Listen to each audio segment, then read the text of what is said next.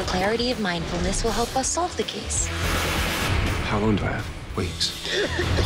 Fear of death is the lock of humanity's prison. Right. iZombie.